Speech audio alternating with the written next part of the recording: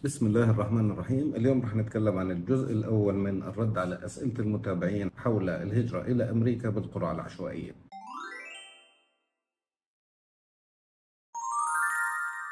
السلام عليكم ورحمة الله وبركاته. أنا محمد ناصر أبو يوسف بحييكم من قناتي مذكرات ممرض اللي نتكلم فيها عن التمريض وعن السفر وعن الهجرة وعن مواضيع كثيرة جدا. في هذا الفيديو رح نعرض بعض الأسئلة اللي وصلتني على الإيميل أو على الخاص على صفحتي على فيسبوك أو على تيك توك أو على إنستغرام حول الهجرة إلى أمريكا بالقرى العشوائية. كلنا عارفين إنه الهجرة بالقرى العشوائية إلى أمريكا تقبل كل الناس مش بس الممرضين فقط تقبل أي إنسان خلص ثانوية عامة ناجح أو درس 12 سنة في المدرسة بأي طريقة أو عنده خبرة سنتين في أي مهنة خلال آخر خمس سنوات. هذه الهجرة بتفتح كل سنة شهر 10 كامل تقريبا واحيانا يوم أو يومين من شهر 11 اللي هو نوفمبر. وبعد هيك يتم اختيار حوالي 120 ألف من الملايين اللي قدموا بصورة عشوائية تماما ثم بيعملوا مقابلات لهم عشان يختاروا منهم 55 ألف أو 56 ألف هم اللي بيهاجروا إلى أمريكا في النهاية. أول سؤال بيقول ليش بيطلبوا الصورة soft copy؟ وكيف بيعرفوا إنه الصورة عمرها أكثر من ست شهور أو إنها مش متعدلة بال Photoshop ما هم بيطلبوا الصورة soft copy يعني تبعت لهم إياها اونلاين مش تعطيهم إياها كورق عشان يعرفوا إنها متعدلة أو لا أو يعرفوا التاريخ تبعها. لو جيت على الصورة هذه مثلا وفتحت الصورة كبست كبسة يمين ثم اخترت خصائص الصورة اللي هي properties راح تلاحظ إنه مثلا هنا تاريخ الصورة 16 10 2024 يعني عمرها يومين أو ثلاث أو أربعة. لو أنت متصور صورة من سنة أو سنة ونص مثلا راح يبين عندهم إنه تاريخها قديم ومش راح تنقبل. رقم اثنين لو أنت أصلا قدمت السنة الماضية أو قبل الماضية بنفس الصورة الكمبيوتر راح يتعرف عليها وسيتم إلغاء طلبك تلقائيا مش راح يكون أصلا مع القائمة اللي قبل النهائية. سؤال بيقول أنا قدمت السنة الماضية وما انقبلت ليش؟ الجواب من شقين. يا إما طلبك أصلا مش مطابق للشروط يا كتبت الاسم غلط يا كتبت تاريخ ميلادك غلط يا عنوانك غلط يا إما كتبت متجوز وأنت عزابي أو كتبت عزابي وأنت متجوز يا إما الصورة. أهم شرط لرفض معظم الناس انه الصورة مش مطابقة للمواصفات. تكون الخلفية مثلا خضراء مش بيضاء تكون مثلا الصورة مستطيلة مش مربعة. يكون عدل عليها بالفوتوشوب يكون لابس نظارة شمسية وهكذا. السبب الثاني إنه طلبك مطابق للشروط لكن الموضوع عشوائي جدا. فأنت زي اللي مع حجر النرد برمي ممكن يطلع معه رقم واحد ممكن اثنين ممكن ثلاث ممكن ستة. بكل بساطة. لو أنا طالب جامعة ولسه ما تخرجت هل أكتب إني معاي بكالوريوس؟ أنت لو فتحت الطلب وبدأت تعبي الطلب راح تلاقيه كاتب لك أعلى شهادة وصلت إليها حتى اليوم. يعني لو تاريخ تخرجك بكرة الصبح اكتب معاي ثانوية عامة. لو أنت تخرجت اليوم الصبح اكتب إنه معاك بكالوريوس. فهو بطلب منك أعلى شهادة وصلت إليها حتى تاريخ اليوم. هيك بالحرف بطلب. سؤال بقول المكتب بقول إنه معتمد من السفارة. هل هو صادق؟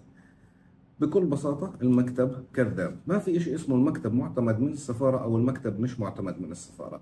هذا طلب الهجرة. الأصل فيه إنه أنت تعبيه بإيدك. فالسفارة ما راح تعطي اعتماد لأي مكتب بالدنيا إنه يعبي الطلبات نيابة عن الناس. عرفت كيف؟ لأنه المكتب ممكن يستغلك ممكن يأخذ منك فلوس وهو الطلب أصلا بيتعبى مجانا وممكن يعبي الطلب غلط لو زاد حرف أو نقص حرف خلص أنت ما راح تنقبل. فالسفارة يا بتعطي اعتماد لكل مكاتب الدنيا يا إما ما بتعطي وهي فعليا ما أعطت لأي مكتب بالدنيا. المكتب بيقول إنه مكتب صاحب أعلى نسبة قبول بالسفارة. طبعا هذا كلام فارغ. بعض المكاتب تشيع عن نفسها إنها صاحبة أعلى معدل قبول بعض المكاتب تشيع إنه هي بتعرف شو الوقت اللي لو قدمت فيه بيطلع نسبة قبولك أعلى أو احتمال قبولك أعلى وما في وقت معين لأنه الموضوع في النهاية عشوائي بالقرعة هم الجماعة مش لاقيين زباين فبدهم يجذبوا الناس مش عارفين كيف. لو انرفضت بالقرعة وقدمت على سياحة بنقبل هلا أنت اختيارك في القرعة من عدمه؟ لا يفرق مع أي نوع فيزا ثانية. فلو ارتفضت بالقرعة أو لم يتم اختيارك ممكن تنقبل سياحة ممكن تنقبل علاج ممكن تنقبل دراسة ممكن تنقبل زيارة. هاي ما إلها دخل بهاي. ولو قدمت بنفس القرعة مرة وانرفضت تقدر تقدم مرة ثانية وثالثة ورابعة. في ناس كل سنة بيقدموا في ناس بعد خمس سنين وفي ناس بعد عشرين سنة انقبلوا. فلا تيأس. أغرب سؤال شفته في هذا الموضوع لو انقبلت بالقرعة ووصلت أمريكا بنفع أقدم على لجوء؟ الجواب باختصار. نعم يما. هسا أنت لو قدمت على القرعة راح يعطوك فيزا يعني تأشيرة يعني سماح بدخولك إلى البلد. ومسموح لك تظل فيها تشتغل وتطلع باسبور ويصير معك جنسية أمريكية وتظل هناك على طول. اللجوء شو بدك تستفيد منه؟ اللجوء إذا أنت دخلت أمريكا بطريقة شرعية لكنها لمدة مؤقتة. مثلا قدمت على سياحة قالوا لك تقعد في أمريكا ثلاث أشهر وبترجع لبلدك.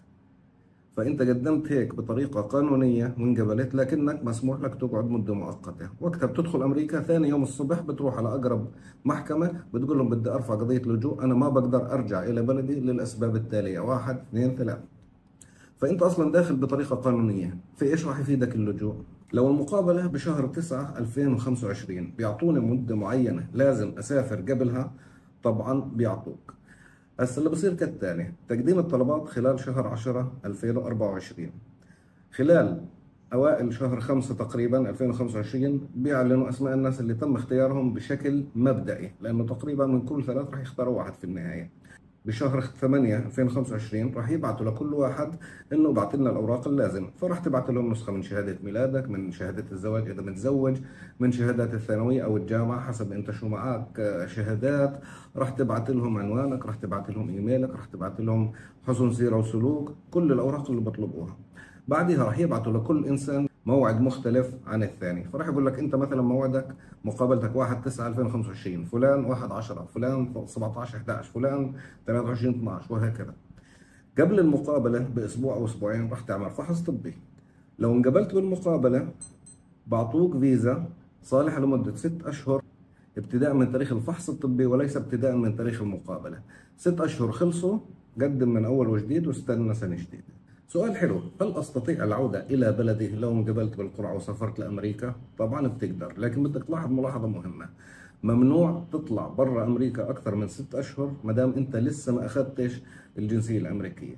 أنت لو انقبلت في القرعة العشوائية راح تطلع على أمريكا بعد خمس سنوات بتأخذ الجنسية الأمريكية.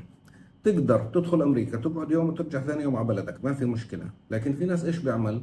بقدم للقرعه بينقبل بروح بقعد له أسبوع في أمريكا بعدين بروح بقعد له 8 9 أشهر في بلده. أنت ما دام بتقدرش تترك بلدك ليش قدمت للهجره ست أشهر ويوم بقولوا لك التغت الفيزا التغت الإقامة روح قدم من أول وجديد واحتمال يقولوا لك عمرك لا تقدم إحنا مش راح نقبلك حتى لو قدمت. سؤال بقول هل اللي بقدم في أول شهر التقديم أو آخره له أولوية بالقبول؟ هي إشاعة بعض مكاتب التقديم أو بعض مكاتب الهجرة بتشيعها بين الناس. بتروح في أول يوم من التقديم بقول لك هات جواز السفر أو هات صورتك الشخصية وغيب عن أسبوعين ثلاث. ليش؟ لأنه بقدم آخر أسبوع فرصته بالقبول أعلى. أنا بقدم لك وبعدين بقول لك قدمت ولا لسه. طبعا هم كذابين لأنه لو قدمت أول يوم ولا ثاني يوم ولا عشر يوم ولا قبل الأخير نفس احتمال القبول. ليش بيعملوا هيك؟ عشان لما يصير في إعلان للنتائج يقول لك هات 10 دنانير أو هات 20 دينار بكشف لك على اسمك انقبل ولا لا. فانت لازم تضلك فوق راسه وهو بيعبي الطلب. آخر الطلب بيطلع لك رقم من 16 منزله اسمه ال confirmation number هذا بتحفظه زي اسمك. لما يصير إعلان عن أسماء المقبولين بتروح أنت بتكشف عن القبول بتلفونك أو إذا عندك لابتوب في البيت بدون ما تحتاج جميلته بدون ما تدفع المصاري في ناس بيفكروا إنه لو انتظرت لآخر يوم لآخر ساعة لآخر دقيقة في التقديم ممكن تكون فرصتها أعلى. بعيدا عن إنه هذا كلام فارغ أنا بدي أعطيك فائدة. تقديم الطلب باخذ ست سبع دقائق. هم بعطوك لحد ربع ساعة أو نص ساعة. تمام؟ لنفرض بديت في الطلب وعلق الكمبيوتر. عدت الطلب من أول وجديد وهو باقي دقيقتين. عدته مرتين أو ثلاث. طبعا آخر يوم بكون في أزمة كثير لأنه في كثير ناس زي حضرتك ناسين حالهم. فإذا علق الموقع مرتين أو ثلاث خلص. انتهت مدة التقديم استنى للسنة الجاية. ليش تزنق حالك لهالدرجة؟ انت ممكن تنسى اول يوم أو اول يومين لأنه بيكون في ازمة كبيرة على الموقع وبعلق كثير. ثالث يوم قدم عاشر يوم قدم بعد أسبوعين قدم. أما مش آخر دقيقة في آخر يوم. سؤال حلو. لو انقبلت قديش التكلفة كاملة؟ هذا سؤال حلو. انت لو انقبلت وقالوا لك عبي بياناتك قبل المقابلة في شيء اسمه طلب ال DS 260 تدخل على الطلب طلب طويل يمكن 15 صفحة. تكتب كل بياناتك اسمك عمرك. شهاداتك وين انولدت أي يوم انولدت آه، وين ساكن عنوانك البريدي إيميلك رقم تليفونك شو معك شهادات من وين تخرجت أي سنة تخرجت إلى آخره. بعدين الزوجة 16 صفحة نفس الحكي. بعدين الأولاد كل واحد 16 صفحة نفس الحكي. وهكذا. هذا الطلب بكلفك أظن 240 دولار 260 دولار شيء زي هيك أو 220 دولار تقريبا. بعديها قبل قبل المقابلة بأسبوع أو أسبوعين في شيء اسمه الفحص الطبي. بتروح بتصور صدرك بسحبوا لك دم بيسألوك كم سؤال. ممكن يعطوك مطعوم أو مطعومين قبل ما تسافر. هذا الفحص بكلفك من 170 إلى 200 210 220 دولار. بهالحدود طبعا هذا الرقم لكل فرد من أفراد الأسرة. وطلب ال DS 260 برضه هذا الرقم لكل فرد من أفراد الأسرة. بعديها قبل المقابلة بيوم أو وأنت داخل على المقابلة لازم تدفع رسوم المقابلة، رسوم المقابلة 330 دولار على كل فرد من أفراد الأسرة، وبتدفع رسوم green card 220 دولار على كل فرد من أفراد الأسرة، وبعد هيك بتحوش حق تذاكر الطيران. وتذكرة الطيران لأمريكا من 700 إلى 1500 دولار على حسب أنت إمتى طلعت في الموسم أو برا الموسم. وبدك تحط في بالك بدك تاخذ معك مصروفك هناك. إلى أن تلاقي سكن تستأجر بيت تأثث البيت وتلاقي شغل وتستلم أول راتب. يعني إذا أنت متزوج بدك مش أقل من 10000 دولار. سؤال بقول أنا مطلقة هل أكتب أسماء أبنائي اللي عايشين مع أبوهم؟ هذا سؤال حلو جدا. لو أنت متزوجه الآن أو أرملة أو مطلقة لكن لما كنت متزوجة أنجبتي أبناء من زوجك الأولاني أو السابق لازم تكتبي أسماء الأولاد. راح تقولي أنا مش عارفة راح أقدر أخذهم ولا لا. لازم تكتبي أسماء أفراد العائلة كاملين. بعدين عند القبول أو عند السفر بنتفاهم إنه تأخذيهم أو ما تأخذيهم. المهم تقدمي لهم طلب تضمني لهم القبول وتجيبي لهم الفيزا وبعديها بتتفاهمي مع طليقك هل ممكن يسمح لك تأخذيهم أو لا. لأنه لو كنت متزوجة أو مطلقة أو أرملة وكتبتي في الطلب إنك عزباء لازم تضلي عزباء طول العمر. صعب جدا إنك تقنعيهم إنه أنا كنت متزوجة أو مطلقة وكذبت عليكم. فمش راح تقدري تسحبي الأطفال لجهتك بالسهولة اللي أنت متخيلتها برضو الكلام للرجال نفس الشيء لو أنت مطلق أولادك مع أمهم سجلهم بالطلب ولما تنقبل وتطلع لك الفيزا خير وفرج. بتروح بتتفاهم معها بتقول لها أنا بدي مصلحة الأولاد بدي أضمن لهم حياة كريمة بدي أضمن لهم راتب مليح بدي أضمن لهم آه، شهادات كويسة علاج في أحسن مستشفيات العالم جنسية يفتخروا فيها. دبر حالك معها.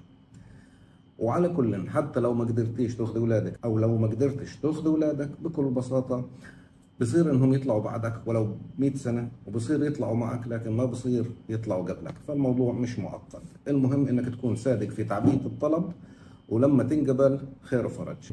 في النهاية كل التحية للجميع. واللي عنده أي سؤال يكتبه تحت بالتعليقات. ممكن نعمل جزء ثاني وجزء ثالث ما في مشكلة. وبالتوفيق للكل. ولو عجبك الفيديو لايك للفيديو. لو عجبتك القناة اشترك بالقناة وفعل زر الجرس عشان يوصلك جديد من أول بأول.